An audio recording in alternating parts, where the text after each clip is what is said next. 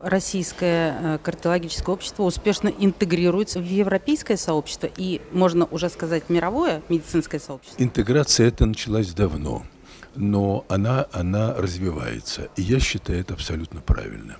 Мы искренне надеемся на то, что авторитет отечественной кардиологии будет настолько велик, что пройдет некоторое время, и у нас состоится Европейский конгресс кардиологов. Добиться этого очень сложно, потому что очень большая конкуренция. Но мы все-таки на это надеемся.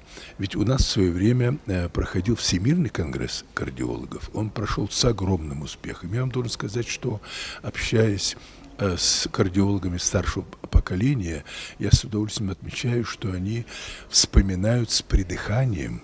Это было, если мне память не изменяет, в 1980 году с придыханием Всемирный конгресс кардиологов. Это был фейерверк, это был успех.